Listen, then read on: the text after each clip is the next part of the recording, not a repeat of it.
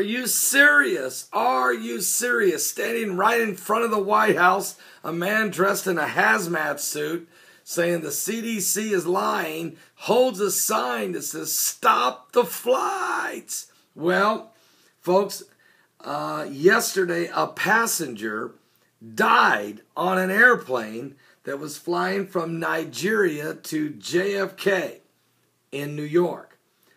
Uh, a man on the flight died after vomiting, uh, had a vomiting fit, and died on the plane yesterday, according to a top lawmaker. Officials gave the corpse only a cursory exam before declaring the victim did not die of Ebola. Folks, are you serious? They don't want to say, obviously, they're not going to tell you he died of Ebola. Because if they tell you a man got on the plane and was vomiting violently and died and it was Ebola, you talk about insanity. But I would almost guarantee you 90% that he had Ebola. I'd almost guarantee you that that's what he died from.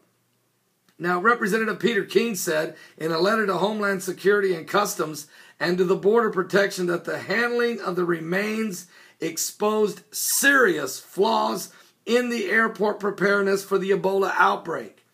Between 70 and 100 passengers a day arrive into JFK from Ebola epicenter countries of Liberia, Sierra Leone, and Guinea. And Representative Peter King noted that they had access to public restrooms. They mingle with other travelers before first being screened. Of course, well, they're on the plane with other people. Then they mingle with other folks before being screened in customs. Given the high volume of travelers into John F. K.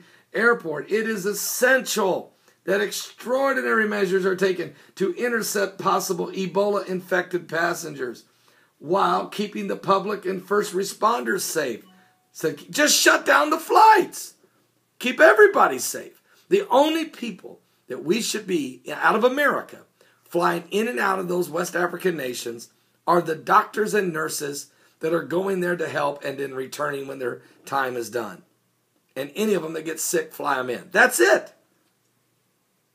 And you can and they can also supplies, medical supplies can go in with those same medical flights. It's very simple.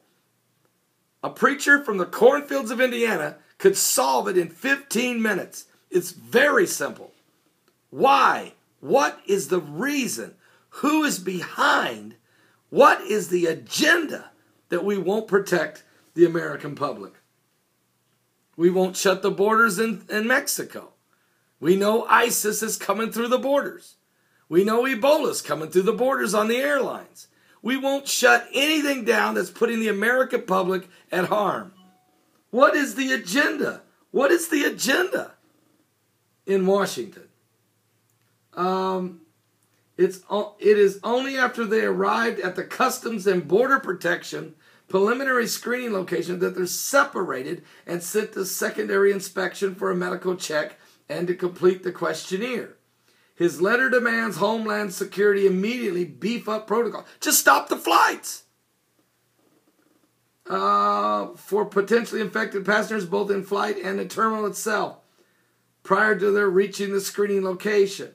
The letter also demands better training, safety equipment for the Port Authority, police, customs, border protection officials who can come into contact with high risk passengers. Just shut down the planes. The unnamed passenger was 63 years